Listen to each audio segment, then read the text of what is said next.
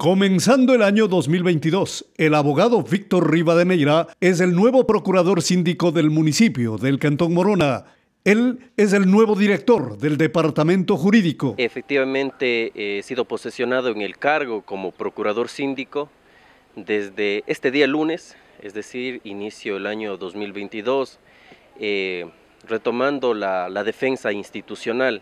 Esto es la dirección jurídica de la municipalidad del Cantón Morona expresó haber llegado a esta función gracias a la confianza del alcalde del cantón. Sí, por supuesto, eh, si bien eh, posterior a la renuncia de la ex procuradora síndica hubo diversas, diversas carpetas, eh, se me ha dado la confianza, el alcalde ha ratificado su confianza en mi persona para proseguir con este gran proyecto, entendiendo que finalmente mi trabajo es técnico jurídico.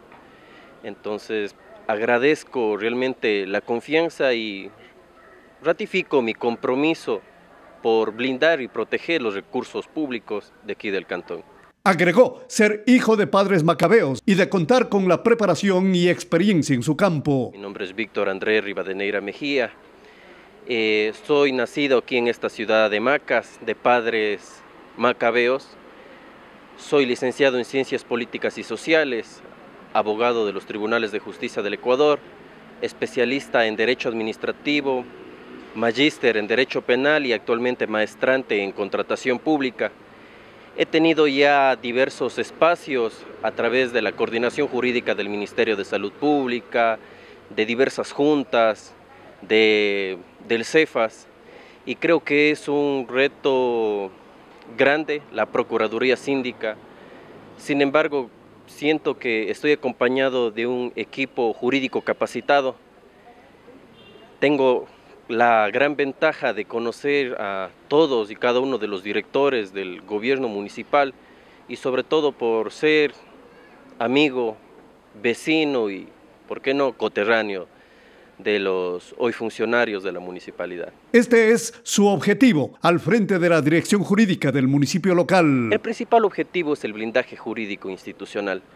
Eh, principalmente me centraré en la defensa de los juicios contenciosos que lleva a cabo la municipalidad.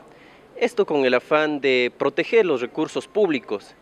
Entiéndase que tras cada decisión que debe tomar la municipalidad debe existir el suficiente fundamento jurídico entiéndase obras, ordenanzas, eh, consultorías.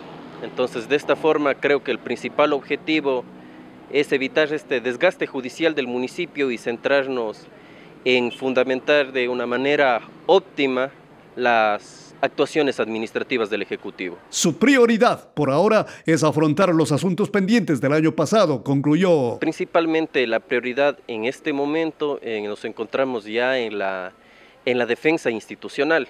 Entiéndase que como toda institución pública grande, nos enfrentamos diversos procesos de diversa índole, eh, contenciosos administrativos, acciones jurisdiccionales, eh, Principalmente nuestro labor está encaminado en solucionar aquellos actos que quedaron pendientes en el año 2021. En el transcurso de estas semanas nos encontraremos al día para poder afrontar nuevos retos. Usted ya lo ha mencionado también, un, más que un problema quizás eh, una consecuencia de un actuar administrativo. En vista de que son pocos días al frente del despacho jurídico, posteriormente le consultaremos sobre los temas de interés de la ciudadanía que reclama al comenzar este año. Miguel Alfonso Parra, exprésate. Morona Santiago.